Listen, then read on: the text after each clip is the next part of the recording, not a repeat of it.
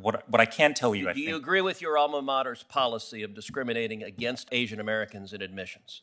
I- I'm not aware of a particular policy of um, discrimination in admissions um, at Yale Law School. But I think to your larger question, That you described the hatred of conservatives, the righteous indignation, the anger at conservatives as a tremendous source of power for you personally. How does that possibly give anyone comfort that you would be a fair and impartial judge? committee, this was a comment that I made in church where I was relaying a joke.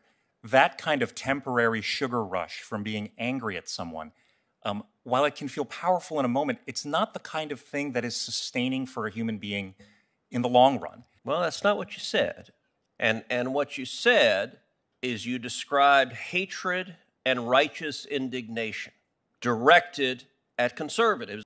In his first year in office, President Biden has made a pattern of nominating extreme partisans and radicals to serve in the administration, but especially to serve on the bench. And unfortunately, that pattern continues today. Mr. Ho, you will not be surprised that I want to address some questions to you. In my view, your record reflects that same pattern of finding someone who has been an extreme partisan, who has been a radical, and President Biden trying to put judicial robes on that partisan and radical agenda. And I would note at the outset that that's not just my characterization. Uh, you yourself have described yourself as, quote, a wild eyed leftist, and further, as someone, quote, accused sometimes of seeing discrimination everywhere you look. Is, is, is that right? Senator Cruz, I think the key word in that quote is accused. What I was doing. Let's start with the first one wild eyed sort of leftist. Well, again, Senator Cruz, I think I was characterizing how others have caricatured myself. Okay. Well, uh, let's take a quote you wrote in, in November 2017, and I found it amusing the exchange a moment ago with one of the Democratic senators about, oh, some older intemperate statements. I would note just sitting here, this, this may be a first in, in that you have tweeted attacks at multiple members of this committee, including Senator Lee, Senator Cotton, Senator Blackburn, Senator Cornyn, and, and far from being intemperate statements when you were a teenager. And most of these tweets occurred last year. So in the last 12 months, you have engaged, or the last about 18 months, you have engaged in partisan attacks on multiple members of this committee. But you also wrote in November 2017, quote, In these dark times, I've been fortunate to find tremendous sense of purpose in my work as a civil rights lawyer. But as a colleague of mine asked me over lunch recently, Dale, do you do this because you want to help people or because you hate conservatives? What he was getting at is that anger can, in fact, be a tremendous source of power. For me, righteous indignation can provide a sense of moral clarity and motivate the long hours needed to get the work done. But it's only a short term burst, it's not sustaining in the long run.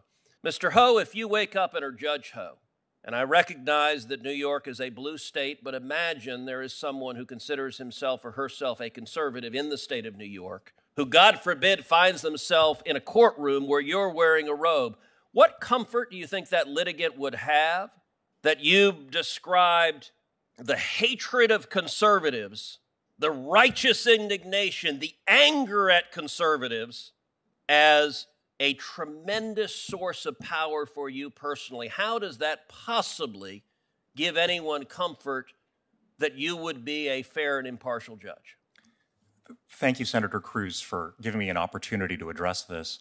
Um, as I mentioned to some other members of the committee, this was a comment that I made in church where I was relaying a joke that someone else had told, the point of which was that that kind of temporary sugar rush from being angry at someone, um, while it can feel powerful in a moment, it's not the kind of thing that is sustaining for a human being in the long run. That at the end of the day, if you want to do good work in the world, it has to come from a different place, a place of love for your fellow person. Um, and that's what I was trying to convey to my fellow congregants at my church. Well, that's not what you said.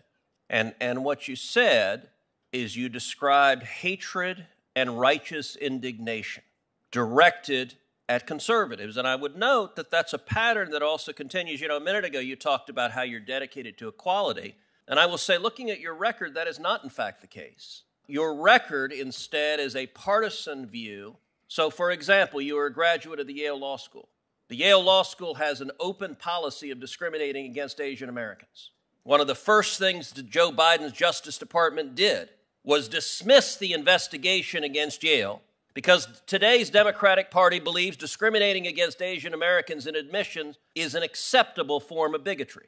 Do you agree with the Biden administration on that? Um, Senator Cruz, I, I, haven't followed the ins and outs of what the Biden administration has done um, with respect to that particular matter. What, what I can tell you, do, I do think, you agree with your alma mater's policy of discriminating against Asian Americans in admissions? Well, Senator Cruz, I, am a member of the National Asian Pacific American Bar Association. I try to do what I can um, in the Asian American legal community. I, I'm not aware of a particular policy of um, discrimination in admissions um, at Yale Law School, but I think to your larger question, Senator Cruz, I, I clerked for judges who were appointed by executives of different parties. Um, they set an example for me that politics, you can have political views, but they don't have a role on the bench. Um, and I would look to follow their examples. Well, your record suggests precisely the contrary.